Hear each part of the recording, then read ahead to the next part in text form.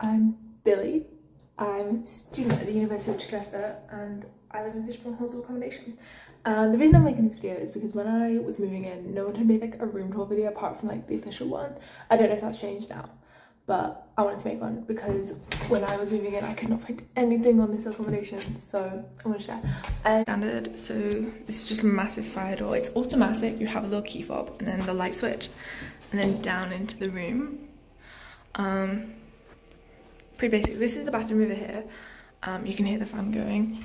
The lights are automatic. I don't know if you can be able to hear me the fan, but anyway. Lights are automatic. There's a mirror. There's this shelf space. Little toilet, toilet, the shower. It's like, you know, not state of the art. You can't move it. It's attached to the wall basic controls. This floods in almost everyone that I've talked to is flat, so um, apparently the way to clean it is fix it as a drain cleaner. It worked for me, worked for my friends, so might as well try it if it floods. But yeah, it's pretty basic. You don't get like any storage, although I've managed to fit a box of like cleaning supplies down the side of the toilet, so you might be able to do that too. But yeah, uh, it's actually a pretty decent toilet. Um, but yeah, moving on, you actually get quite a lot of plugs here. So you get these two here, you get some down by the desk as well, and then also some behind there. Last time I checked, anyway. Um, full length mirror little fit check for you. Here, the movement of this, of the desk and everything changes. Sometimes the things over there depending on the flat, but it does just depend on the flat. But yeah, so there are absolutely no drawers in Chichester, which is in Fishbourne even, which is really inconvenient. But you get these cubbies. They are massive, they're like the length of my arm, and I'm 5'11, so there's pretty lots of space. But they're really inconvenient for stacking clothes, so um, I haven't found a solution except to just sort of shove them in there. But you get quite a lot of like storage spaces. Like I haven't really found a problem with the storage. Like it's pretty nice. And then the desk area, again, there is no um, drawers, but it does go the entire length of the desk. And then you get this here to put your cables in because the cables are all down here. And then you get this little thing. But anyway, you get this single pin board, but they don't mind you putting stuff up on the walls, as you can see. Um, the hooks left up. And then there's like paint splotches from previous residents and stuff putting stuff up, so they don't really mind you putting stuff up on walls. But then here is pretty much the only like open shelf storage space you get. I know I had my books here and then like my sort of makeup and stuff as like a little decorationy bit up here. Um, and then like folders and stuff over here. But yeah, you don't actually get that much like open storage space as you'd think. Um, but yeah, desk pretty out. This chair's pretty uncomfortable unless you have like a cushion. Uh, the windowsill, sp- mm, the windowsill space is really good for Sorry, there's a person doing 3.10 and I don't want to show the license. Like, the window windowsill space is really good if you have like loads of plants. And that was really good for me. I had loads of fun. And then over here, you've got this. These are actually attached to the walls in some rooms. Um, mine wasn't, but this one is. So it does just depend on the room. But you got little cubbies and everything in here, and these are also pretty helpful as a little bedside table and stuff. But yeah, over to the bed. The bed is just under a double, so it's slightly smaller, but it's equivalent of a double. You can fit two people in it comfortably. It's not really a problem. You do get the light switch for this light over here next to the bed, which is really helpful. But then both of them over there, so you can't control that one from bed. But that's never really been a problem. Um, and then under here, you've also got like full storage, which I think is quite useful. Um, but yeah like the quickest and worst room tour I think anyone's ever seen. But anyway, um, I would say overall the storage is pretty good. Make sure you've got boxes to put under your bed if you've got loads of stuff that you want to bring. And again, the drawers thing, so maybe get like boxes or something to put in the wardrobes and like organizational stuff to put under your desk if you've got a lot of stuff you want to put there. But yeah, that's generally the only qualms I have is the lack of drawers. Um, but I get why they do it, it's because they break all the time and they don't want to be doing that. Um, but yeah, so the room layout, uh, there's almost all of them the same. So there's five rooms in a flat um, and the first four are identical. The fifth one is slightly bigger um, and depending on which side you're on has windows in the A block as far as I'm aware. I don't know much about B block sizes and arrangements, but in the A block, you're on first floor, second floor, the fifth one is bigger. Um, on third floor, the rooms are bigger generally and have bigger kitchens. So that's something to think about. Um, but yeah, I think that's everything that's even kind of important. The, the um, allocation process is completely random, which is kind of weird because I ended up living with three boys and me um, functionally. Practically, there was another girl living with me, but she didn't actually live here. She lived um, somewhere else and just kept her stuff here and paid the rent. And I saw her like once a month at most. So functionally, it was me and three boys living here, which you'd think would be a nightmare. Wasn't too bad. Very funny. They're great. We're, we're not like best friends. We're not moving in together. None of that. But we got along well, and that was all that really. Like there was no arguments or anything within the flat, which was nice.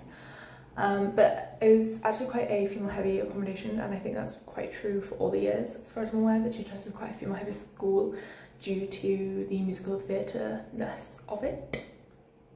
Um, so there is quite a lot of musical theatre students which you know you think about when you apply but then you get here and you're like oh there's so many.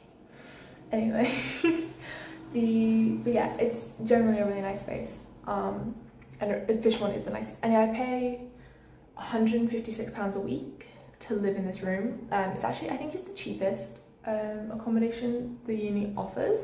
So like, it's got the most facilities. It's got a cinema room, a study room, laundry on site, bike storage, um, a common room, which is actually really nice. You know, things like that.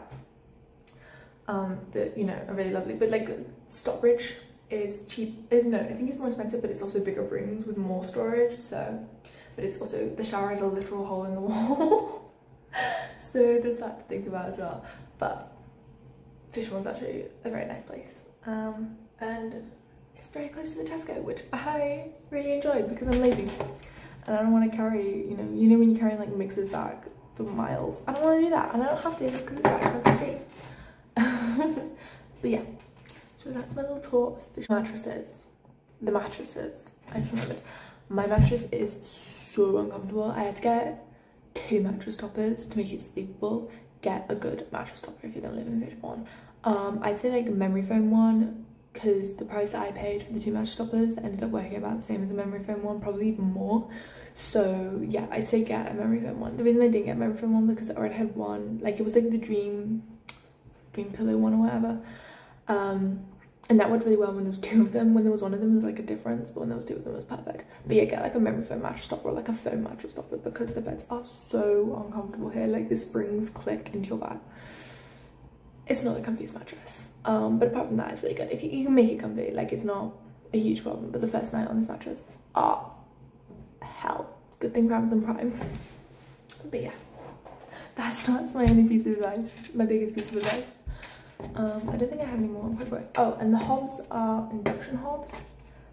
So be careful with what pans you're buying because some of them don't work on induction hobs. Um, I never had the problem. My pans were fine. I never even thought about it. My pans were fine. And the hardware here. So the toaster the university provided trips the electrics every single week. Um, it got so bad it was every single day and we literally just bought a new one because we were done with it. The kettles are disgusting. We had to buy a new one because the line scale is horrendous in the south. I'm not from the south. I don't live in, um, my family's not from the south. I wasn't born in the south. I moved to the south for university. The, the line scale here is atrocious. You need to get a kettle with like a mesh filter if you're going to use it. Um, because if not, it is horrible. Also, the rooms trap heat like nobody's business. You will be sweating when it's a heat wave.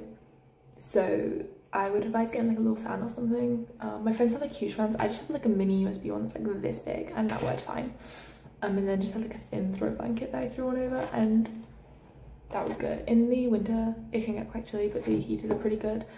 That's not that was never really a problem, it was never really too cold. But yeah, the summer is horrible here because the windows are so big, especially if you're on my side. Um, the windows get like the sun most of the day, so it heats up very quickly. Um, and the windows don't open all the way and all of that, so my window didn't open all the way out. It just opens halfway, which is very inconvenient. But yeah, um, the bike shed front because we have one here. Chichester is so so flat. It's so easy. The cycling infrastructure here is incredible. There's cycle paths literally everywhere. It's really really good and very cycle friendly in my opinion. Um, the hills here so when i was looking to come here i was like oh do i run my bike? Do i not?